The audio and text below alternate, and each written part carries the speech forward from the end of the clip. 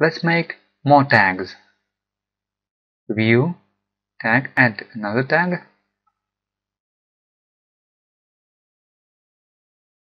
And another comment.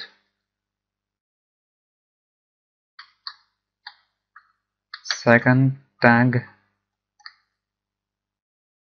Okay. And the next one in any place third tag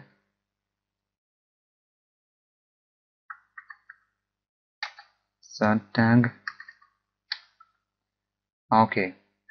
And now there's the ability to move from one tag to another one.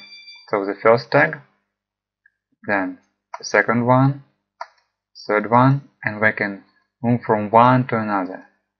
And in any moment you can do like this one the third one and go to tag and you can get to it